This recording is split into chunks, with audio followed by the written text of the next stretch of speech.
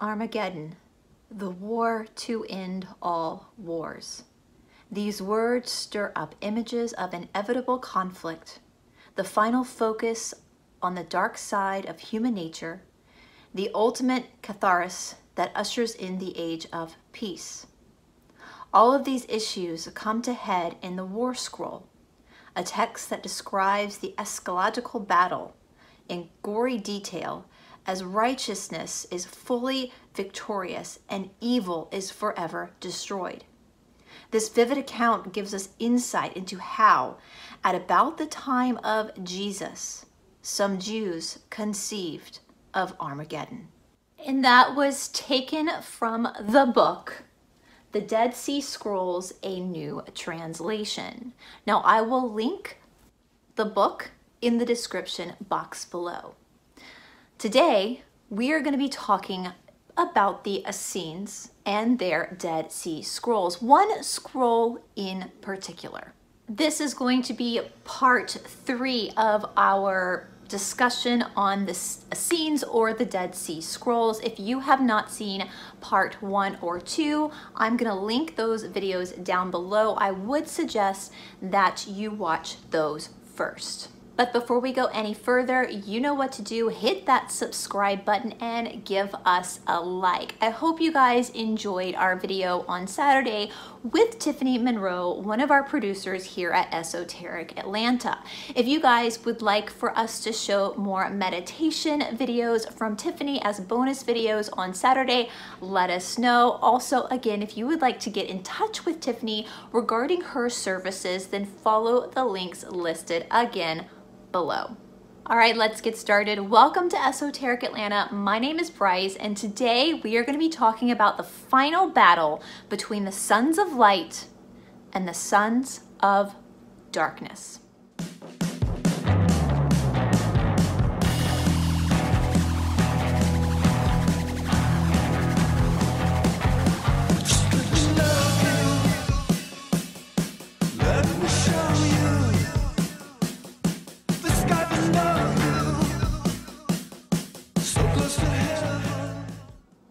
As always, this is a follow-up of the discussion we had on the Dark Outpost TV yesterday with David Zublick. If you would like to see a more thorough discussion of this episode, then please link down to the website below and join the inner circle. The War Scroll was, again, one of the scrolls that we classify as the Dead Sea Scrolls. It is also called the Rule of War. Well, this scroll was one of seven scrolls found in the first cave back in Qumran in 1947 with our nomadic teenage shepherd boys. This scroll contains 19 columns. However, they think it originally had 20 this is good news because that means only a little bit of the scroll is missing, so therefore we have a thorough understanding of what was written in the War Scroll. The War Scroll is thought to be one of the Essenes' most important documents. If you can remember from our prior videos on the Essenes and the Dead Sea Scrolls, this group of people are thought to maybe be what became the Christian faith. However, the Essenes, or the Sons of Light, lived a pretty different life than what we see in Christianity today. If you remember back from our Constantine video, you will know that Constantine the Great wasn't so great and pretty much changed the original Christian faith into a Canaanite faith of Mithraism. And again, I will place that Constantine, a link to that Constantine video down below if you have not seen it. Well, the Essenes were very, very, very devout. They lived in a community that was secluded from the rest of civilization. They did not particularly like the Pharisees or the Sadducees, the other two groups of Jewish people at that time. When one became an Essene, one gave up its material possessions. For example, in the excavated caves, they have found jars of money thought to belong to certain members of the Essenes who stored it away because within the community money was not needed. Their priests did not get married, however, people living within the community could get married and the community took to raising their children. The Essenes were really good to old people and they often brought orphans into their communities as well.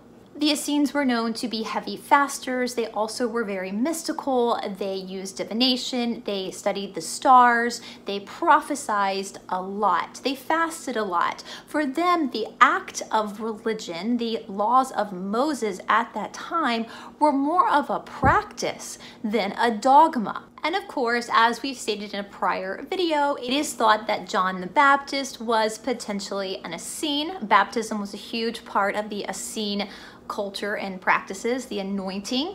And it is also believed that Jesus Christ himself was either an Essene or lived with the Essenes at some point. We do also know that the original apostles were affected by the Essenes. This is clear from some references in the Bible. Well, with the particular war scroll, we have a description of the seventh and final battle for Armageddon or the end of time. Now, historians have two main thoughts with the war scroll. Many historians believe that the war scroll was a, a, description of the coming Jewish war that happened in 66 AD. However, other historians aren't so sure they believe that the War Scroll is actually a book that was supposed to accompany the book of Revelation from the Bible. In fact, the War Scroll was written long before Revelation was written.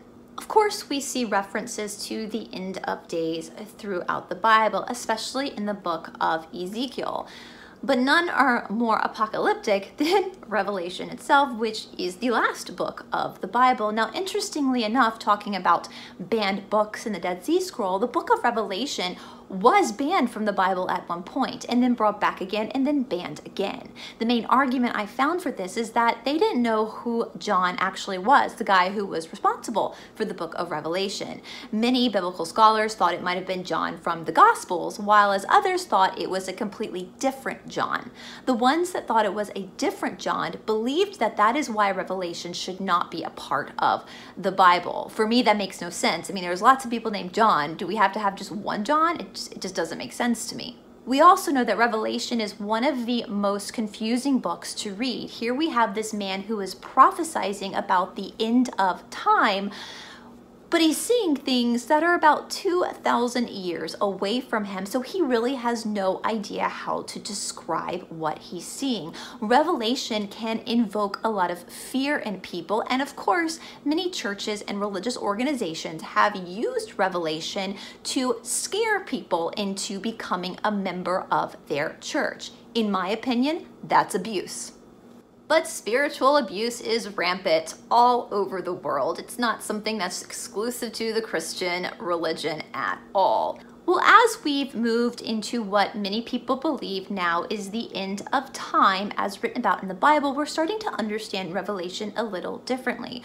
We don't see it as as scary as we once thought it was. We're realizing that the tribulation, that all these awful things aren't happening to the good people, to the Christians or the people of light. They're going to be happening to the people of darkness. And this is really clear to me in the War Scroll.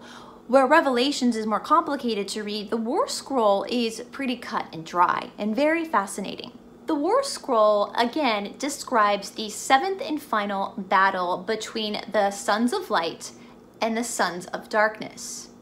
Now, the Essenes called themselves the Sons of Light. In the War Scroll, they make it clear that the Sons of Light are Jewish and Gentile people, which is pretty big to write back in those days as a Jewish person that there would be Gentiles joining you amongst this battle. It also refers to the genetic line of the Sons of Light.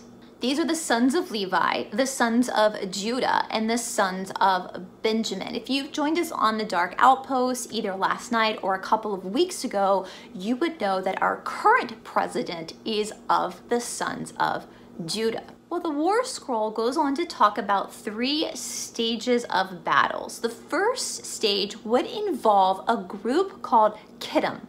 Now, it is believed that Kittim describes the Roman Empire. Many historians also say it could just basically mean a generic bad guy.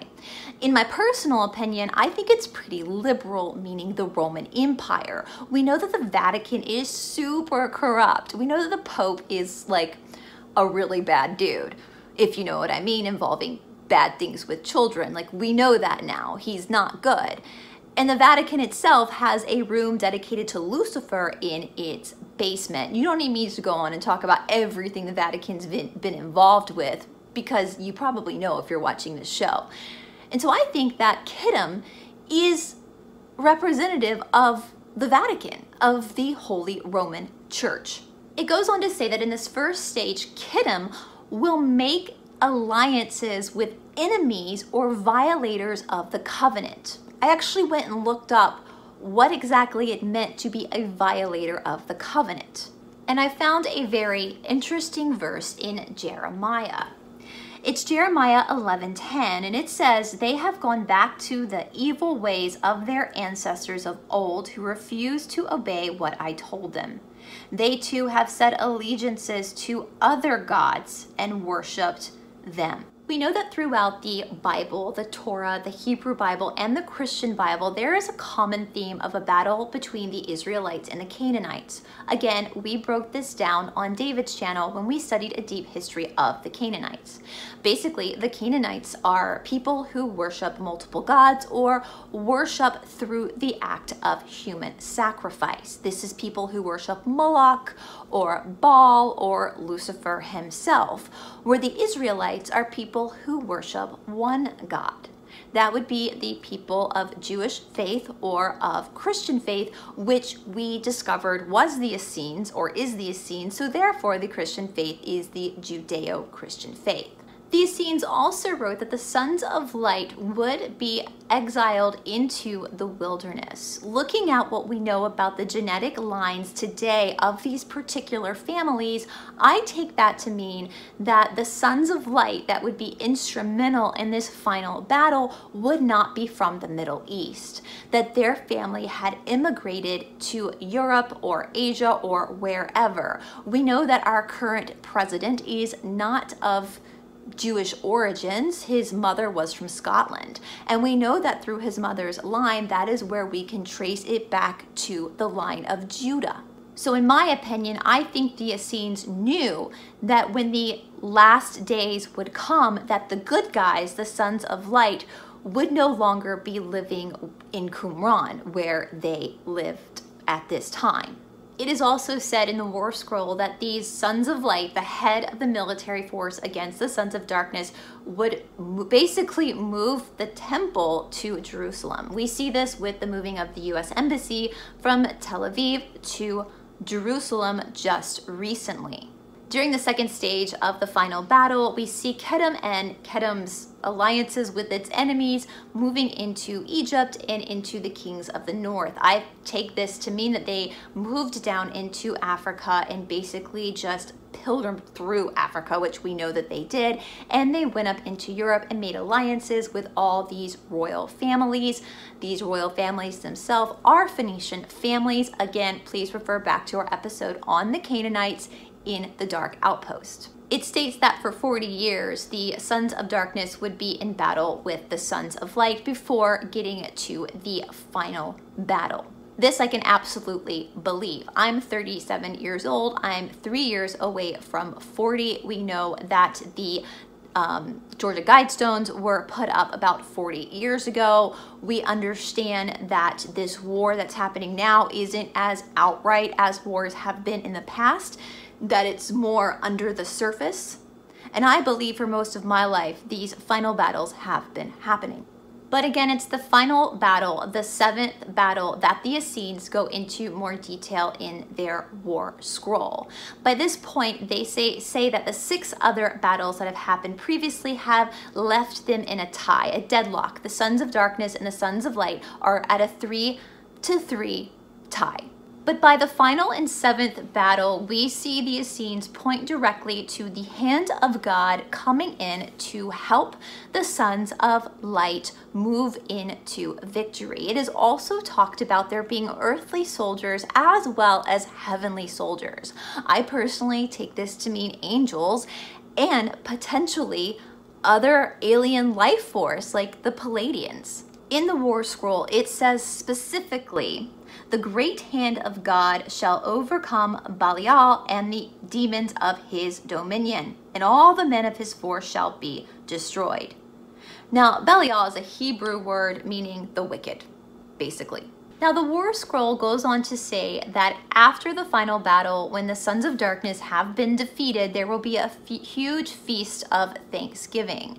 It is also told us in the War Scroll that the Sons of Darkness will cease to exist. They will be exiled and kicked basically off of the planet. This backs up the new research in the book of Revelation. It's not us that's going through the tribulation, it's the wicked that are going through the tribulation. Joe M created a video a long time ago. In one of his lines, he says, I am not a crim criminal, you are not a criminal. Most of us are good people. Most of us are sons of light. The sons of darkness are a very minute group of humanity, but they're very powerful. So basically, that's good. That means that we're coming to the end stages of darkness. We know that this winter solstice coming up, that Jupiter and Saturn will be at zero degrees Aquarius. This apparently hasn't happened since Jesus was born when they were at zero degrees Pisces. And I will include a link down below to a Christian article that talks about how the alignment of these planets might mimic the Star of Bethlehem. This means that we're moving into the a thousand years of peace as promised after the end times. It'll be us enjoying our planet though, not them. Some other interesting insights into the War Scrolls go as follows. It says that the Sons of Light are led by the Prince of Light, who is Archangel Michael. The Bible also refers to Michael as the Chief Prince. The Bible also says Michael will play a significant part in the end times in Revelation. The War Scrolls state that the heads of houses will gather and decide who they will fight with. To me, this refers to bloodlines, the bloodlines of the Illuminati or perhaps the heads of nations. The War Scrolls also state that whole congregations shall fight together in the last days. To me, this is referring to what we know as the Alliance or the White Hats. We know this by the infamous poster that started posting back in 2017. If you know what I mean, I can't say it on YouTube, but you guys know what I mean. That all these people around the world, all these different heads of military and countries that are sons of light are working together to help humanity, to beat the sons of darkness. It's kind of eerie how the war scrolls are basically an outline of what's happening right now. So what we get from the scrolls is that this is a time of salvation for the people of God. And for the sons of darkness, there will be absolutely no escape.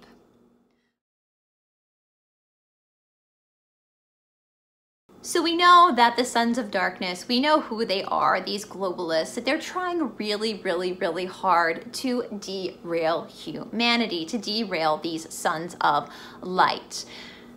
People often ask, well, if these prophecies were true, then why would they be fighting so hard? Because they're trying to rewrite the script. This is exactly what Lucifer did in the first battle when he first rejected God. He tried to change the narrative, to change the story. And these sons of darkness are so arrogant that they believe that they have the power to totally change the course of human trajectory, humans' future.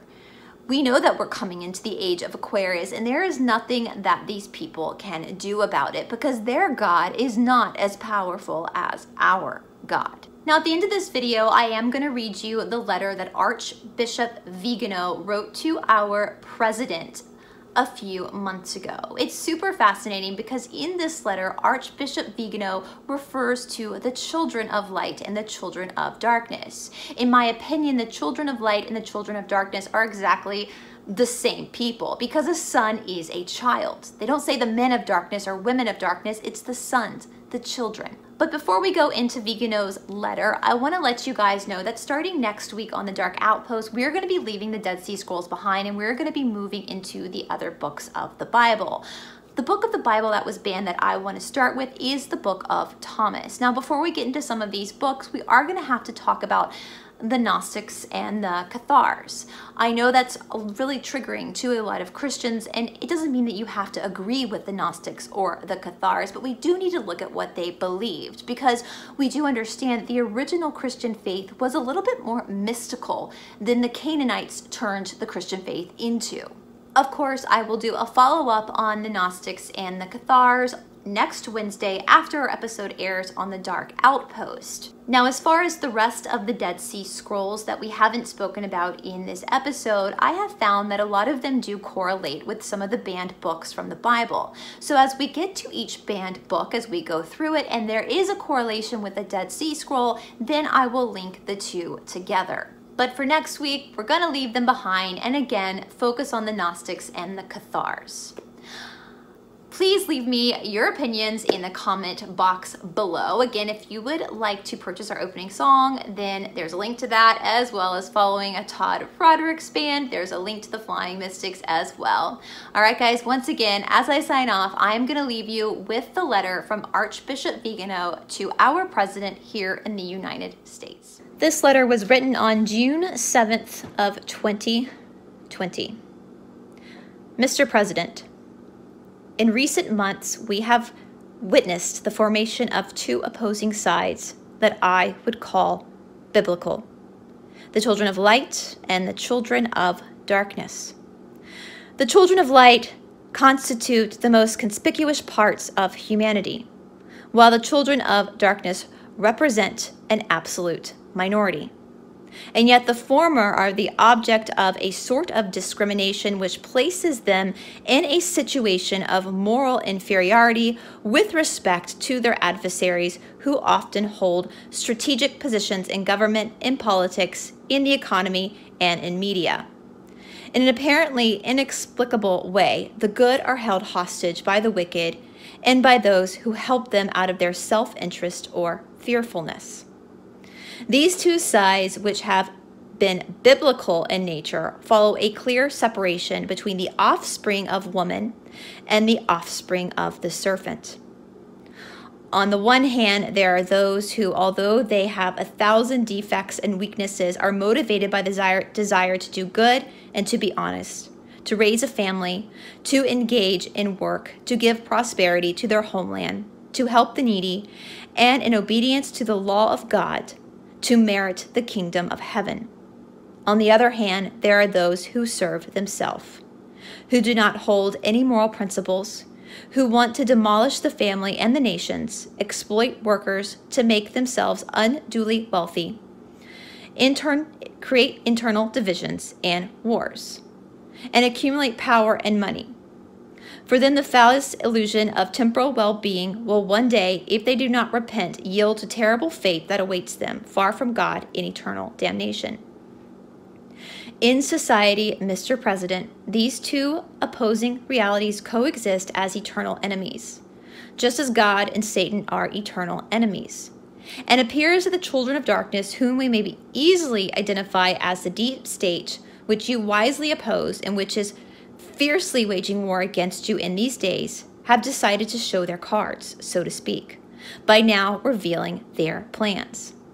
They seem to be so certain of already having everything under control that they have laid aside the circumspection that until now had at least partly concealed their true intentions. The investigations are all underway and will reveal the true responsibility of those who managed the virus, emergency, not only in the area of healthcare, but also in politics, the economy, and the media.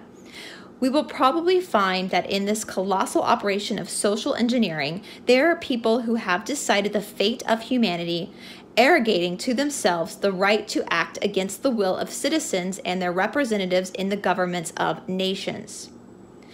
We will also discover that the riots in these days were provoked by those who, seeing that the virus is an inevitability fading and that the social alarm of the pandemic is waning necessarily have had to provoke civil disturbances because they would be followed by repression, which, although legitimate, could be condemned as an unjustified aggression against the population. The same thing is also happening in Europe in perfect synchrony. It is quite clear that the use of street protests is instrumental in the purpose of those who would like to see someone elected in the upcoming presidential elections who embodies the goals of the deep state and who expresses those goals faithfully and with conviction. It will be surprising if, in a few months, we learn once again that hidden behind these acts of vandalism and violence, there are those who have profited from the dissolution of social order so as to build a world without freedom. Solve et Coagula, as the Masonic adage teaches. Although it may be disconcerting, the opposing alignments I have described are also found in religious circles. They are faithful shepherds who care for the flock of Christ. But there are also mercenary infidels who seek to scatter the flock and hand the sheep over to be devoured by the ravenous wolves. It is not surprising that these mercenaries are allies of the children of darkness and hate the children of light. Just as there is a deep state, there is also a deep church that betrays its duties and forswears its proper commitment before God. Thus, the invisible enemy, whom good rulers fight against in public affairs, is also fought against by good shepherds in ecclesiastical sphere. It is a spiritual battle which I spoke about in my recent appeal, which was published on May 8th. For the first time, the United States has a new president who courageously defends the right to life, who is not ashamed to denounce the persecution of Christians throughout the world, who speaks of Jesus Christ and the right of citizens to freely worship your participation in the March of Life, and more recently, your proclamation of the month of April as National Child Abuse Prevention Month are actions that confirm which side you wish to fight on. And I dare to believe that the both of us are on the same side in this battle, I bet with different weapons. For this reason, I believe that the attack to which you were subjected after your visit to the National Shrine of St. John Paul II is part of the orchestrated media narrative which speaks not to fight racism and bring social order, but to aggravate dispositions, not to bring justice, but to legitimize violence and crime, not to serve truth, but to favor one political fraction.